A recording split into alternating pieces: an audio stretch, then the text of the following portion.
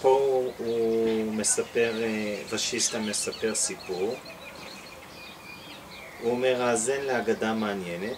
בשרשרת הרי ההימאליה ישנו הר ידוע, ולרגלי ההר חי שבט הרים, והיה אדם, מלכם, ומשל בצדק. מזכה את הראויים לזיכוי ומעניש את הראויים לענישה. אולם בגין הפעילות הזאת חזונו הרוחני התערפל. יום אחד בא החכם לבקר אצל המלך. המלך קיבל בברכה את פני החכם, כיבדו וביקשו, אדוני, אני מעונה מן החרדות שהזיכוי שאני מעניק לנתיני, לנתיני, לנתיניי והעונש שאני מטיל עליהם ישובו אליי וישפיעו אליי, עליי. אנא עזור לי לסגל ראייה זהה והצילני מדעה משוחדת וממשוא פנים. למרות שהוא היה, הוא בעצם מתאר שהוא משל בצדק, אפילו זה בעצם לא משחרר. כן? בפשיסטו נותן מלא אה, דוגמאות של מלכים שהם עצומים והם אה, אה, אה, יש להם הרבה איכויות מנטליות מאוד נעלות והם כולם סובלים, כן? ואז הוא, הוא, החכם אומר לו, כל החולשות השכליות מגיעות לקיצן במאמץ עצמי המבוסס על החוכמה אשר מתעוררת באדם המושרש בידיעה עצמית. כל החול, החולשות השכליות מגיעות לקיצן במאמץ עצמי המבוסס על החוכמה אשר מתעוררת באדם המושרש בידיעה עצמית. באמצעות חקירה אל תוך טבע העצמי ניתן להיפטר ממצוקת ההכרה. כאשר תשיג ידיעה עצמית וכאשר תודעתך תתרחב עד אינסוף, בעצם תתמזג לאינסוף, הכרתך לא תיפול עוד אל ביב השופכין של העולם הזה. רק כאשר מוותר האדם על הכל, ידיעה עצמית מושגת. כאשר זונח האדם כל נקודות המבט, מה שנותר הוא עצמי. זה מצביע עוד פעם שכל עוד יש היצמדות, יהיה שם אני שנצמד, והוא נצמד למחשבות כי מה הוא מאמין? שהן אמיתיות והוא ישיג את האושר ואת האמת ואת השלווה אם הוא ישיג את עולם הדמיונות ש... שמופיעות בתוכו.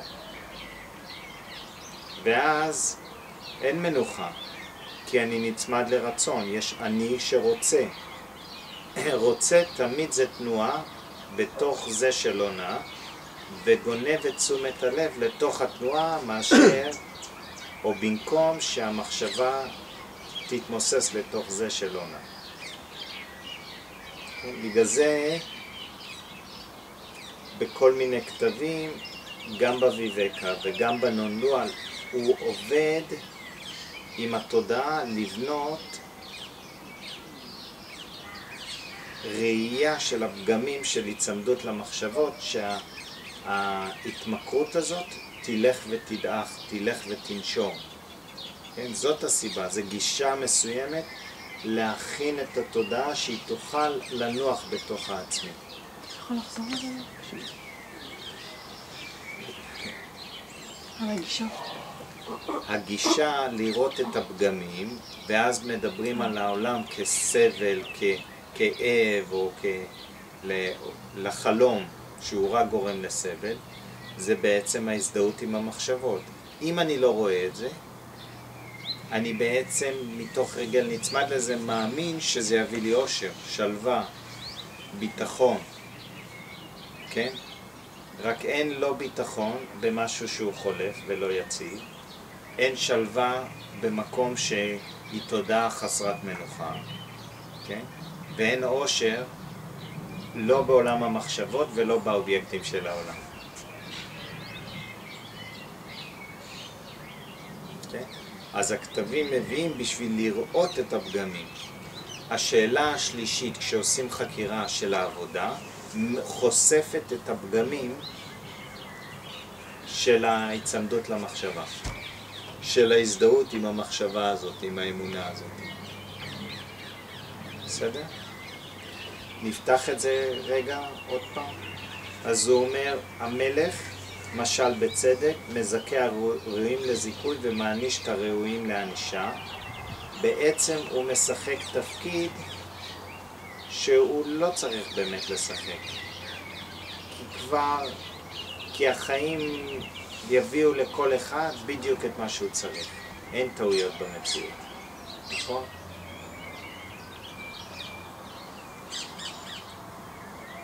קשה לתודעה לקבל את זה, כי היא רוצה להיות השופט. נכון? בגלל זה השופט, יש לו חלק נכבד, והוא מקבל משכורת מאוד גבוהה, וזה תפקיד מאוד מוערך, כי זה בתוך עולם של התודעה. אז התודעה, היא רוצה לשפוט. היא שופטת בכל מקרה, כן, זה מה שהיא עושה. כן, היא שופטת מה טוב, מה לא טוב. טוב, זה, כאן הוא, הם הרי ראויים לזיכוי, והלא טוב מעניש את הראויים לענישה. אולם בגין הפעילות הזאת, חזונו הרוחני יתערפל. זה אומר, מה אומר? הוא אין לו ראייה רוחנית. הוא לא רואה את הכל כעין שווה, הוא לא מבין שכל מה שקורה, קורה באופן הכי מדויק מושלם, אין טעויות במציאות. הוא בעצם מה שקייטי הייתה אומרת, לוקח את תפקיד האלוהים. הוא גם מזין את הנפרדות. הוא גם מזין נפרדות. יש אני ויש אחר. והאחר או טוב או רע. או עושה פעולה נאותה או עושה פעולה לא נאותה. ואני זה שישפוט את השניים. אז זה אומר, יש אני ויש אחר, הזדהות שגויה. נפרדות. כן? ואז הוא מבקש, אמ, המלך מקבל את ה, בברכה את התנאי החכם, כיבדו וביקשו, אדוני, אני מעונה מן החרדות שהזיכוי שאני מעניק לנתיניי והעונש שאני מטיל עליהם ישובו עליי וישפיעו עליי. אז אם אני אסתכל, כשאני נצמד לנכון ונמנע מלא נכון, אני מעונה, לא? רוצה, לא רוצה. אמור, לא אמור. צריך, לא צריך. אתם מזהים שברגע שיש אני שנצמד לזה, הוא מתענה בתוכו? זה אמור להיות ככה, למה זה לא קורה? מתענה באותו רגע. אוקיי. אנא עזור לי לסגל ראייה זהה והצילני מדעה משוחדת וממשוא פנים. דעה משוחדת זה אמונה שלא נבדקה, לא נבחנה, נכון? כי כל... נבדקה, נבחנה, כי כל הדעות שיש לי הן משוחדות, הן משוחדות, הן מושאלות על פי מערכת אמונות שהיא לא הייתה אפילו שלי. אני סיגלתי אותה, אני לוויתי אותה מבחוץ. בחוץ, הכל זה בחוץ, זה לא משנה אפילו, לא רק הורים. זה כל מה שהתודעה יוצאת ונחשפת, עכשיו בגלל, בייחוד שהיא מתחילה, היא תמימה, היא לא יודעת. אז היא מאמינה אפילו בלי לבחון את זה ולשאול, כי אין לה את היכולת לשאול. מה שאומרים לה, היא מקבלת את זה. באיזה שלב היא רק מתחילה להטיל ספק על הדברים, אם היא בכלל מתחילה להטיל ספק על הדברים. קיים חיים שלמים, אנשים לא מטילים ספק על כלום.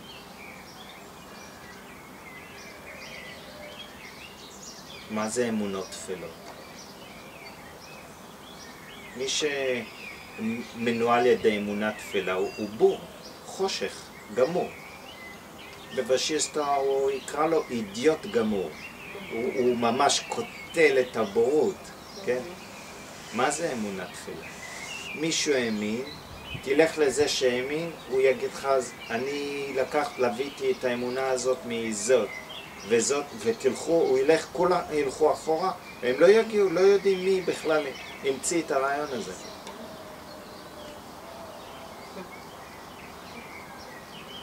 ולמה אתה עושה את זה, או למה אתה ממשיך להאזין את זה, ולמה אתה מאמין את זה? פחד. מה זה פחד? חושך. חושך, מלא. אז אתה תמשיך, אז מה החושך? תראו, חושך מזין רק עוד חושך. חושך לא מכניס אור.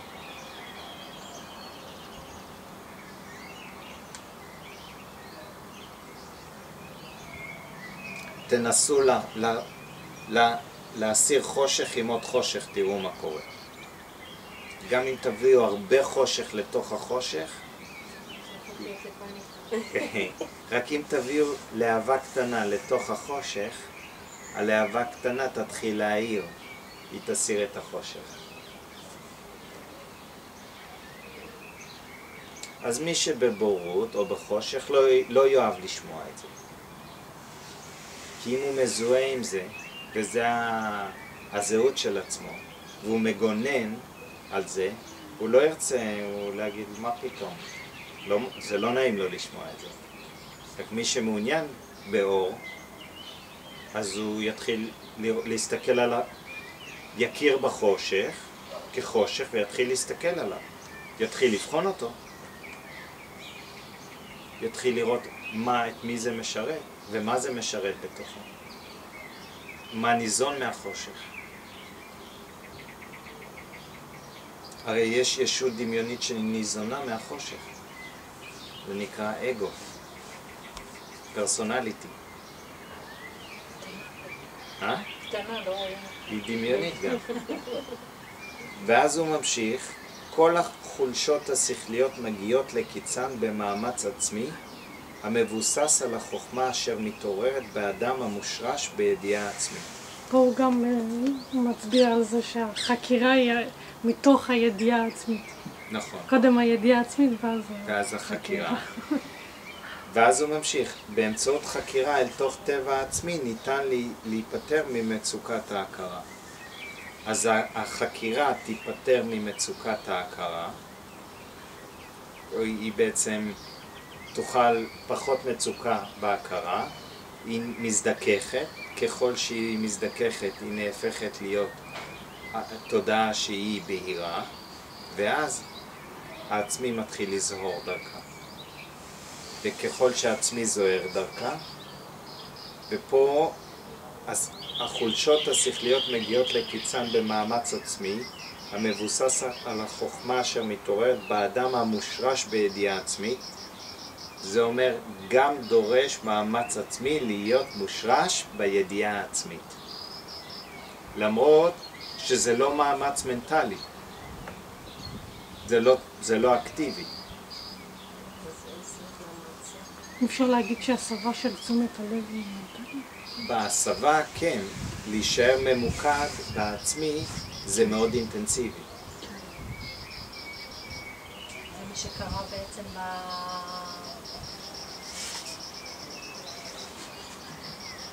יש לי מחשבה שזה מה שקרה ב... במדיטציה היום.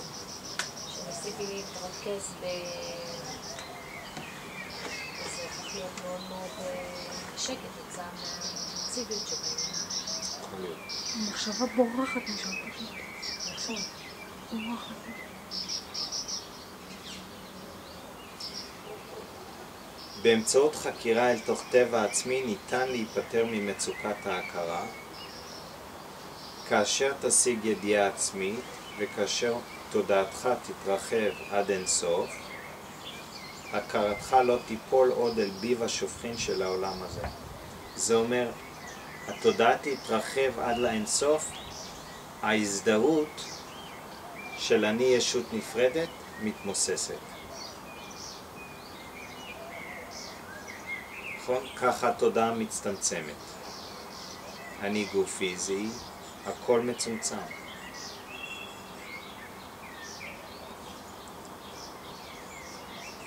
רק כאשר מוותר האדם על הכל, ידיעה עצמית מושגת. זה אומר, בואו נסתכל מה זה האדם מוותר על הכל. מחשבה מופיעה ומושכת את תשומת הלב, ולא לא לה- להזין את זה אפילו במעט התעניינות, זה, זה לא... זה בעצם לא לשאול שאלות שהיא לא תתפתח. אז אתה ויתרת עליה? כן. ולבדוק אם יש אני, ברגע שאתם פוגשים את עצמכם, שזה תחושת האני, אז ויתרת על, המח... על המחשבה אני? כי אם לא ויתרת על המחשבה אני, האני הזאת מזוהה עם כל מחשבה אחרת שמופיעה. אתה יכול עוד פעם לחזור על זה? רק זה לא לב... זה... מה המחשבה אומרת? טוב, אני צריך לוותר על דברים. כן. לא, זה לא קשור בכלל. זה הכל פנימי. תשימו לב איזה מחשבות הם נסחפים אליהם. אתם לא מוותרים עליהם. אתם מושקעים במחשבה הזאת. ואז יש גם אני, שהוא זה שחושב את המחשבה. כן? ככה הוא לפחות חושב את זה.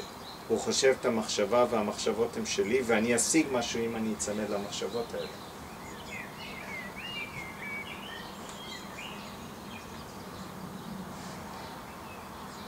זה לא אומר לוותר, שבאיזשהו פרק מסוים, שלב בעבודה הזה צריך גם לוותר על דברים אמיתיים.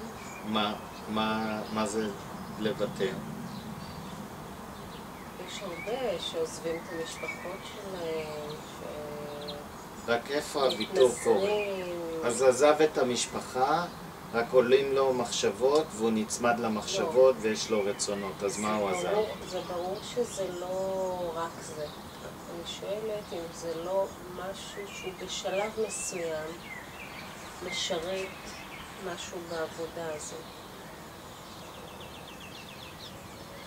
זאת אומרת, האם אפשר בלי זה, בלי השלב הזה?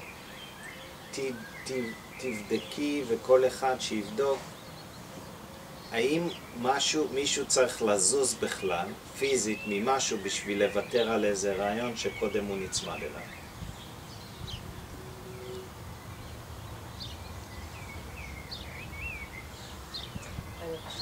מה שאני חושבת, אני הדמיונית רגע, חושבת... שנייה, בוא נשאר עם השאלה. האם צריך לזוז? יש רעיון, בשביל לוותר עליו, האם אני צריך לזוז פיזית לאנשהו? תכלס לא, בפועל אני מזהה שעצם ההתרחקות ממשהו יכולה לאפשר לי יותר מרווח של הסתכלות עליו, ופחות אה, פחות אינטנסיבי שם, נגיד אני יכולה לראות את זה מול ההורים, ככל שזה, יש שם יותר את המרווח הזה, אז אני יכולה יותר לראות את זה, אני לא יודעת אם זה היה יותר אינטנסיבי, אז הייתי יכולה לראות, אני אין לי את לא. כי אם התרחקת, יכול להיות זה לא מעורר עוד משהו שאת מאוד אה, יכולה להזדהות איתו ולהיצמד אליו.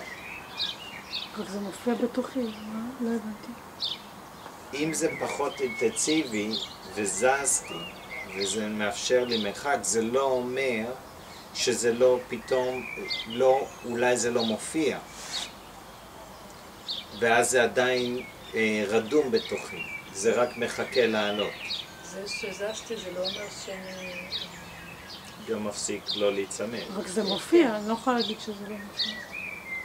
גם, גם אם הפיזי התרחק, אני לא יכולה להגיד שזה לא מופיע בתוכי. אז, אז זה יכול מחזיר אותנו, האם זה בכלל קשור למשהו פיזי? זה לא. אבל פיזי מאוד יכול אה, להפריע ולפעמים גם לקבוע את המידה שאתה יכול... אה, איך? ילדים למשל. ילד... סתם דוגמה קיצונית, טירונות. אתה יכולת לעשות מדיטציה בטירונות? לא תמיד החיים שלך הם שלך, אתה יודע, לפעמים החיים שלך בידיים אחרות.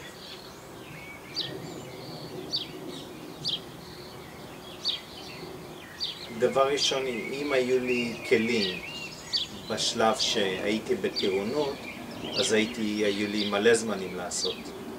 מלא. רק לא נחשפתי למשהו שאפשר לי בכלל כלים להתבונן פנימה ולעבוד עם עולם המחשבות. הרי גם בטירונות ובכל מצב, בכל זמן של אדם בחיים, המגבלות הן בעולם המחשבות אצלו, לא בשום מקום אחר. דווקא בטירונות לומדים את זה יפה. בכל, בכל דבר זה המגבלות, זה העולם המחשבות. רק אני חוזר למקום ש... האם משהו חיצוני יכול להגביל משהו שהוא לא מושפע מהחיצוני? הרי מחשבות לא מושפעות מאובייקטים של העולם.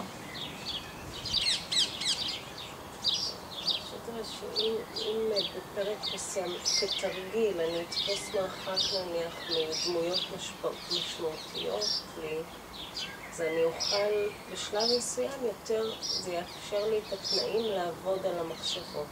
אם אני אהיה בקרבה מאוד גדולה פיזית, זה יהיה יותר מדי חזק כדי שיהיה לי את הכוחות לעשות על זה עבודה. בעצם זה הכיסוי של הגוף. רק זה סתם סיפור.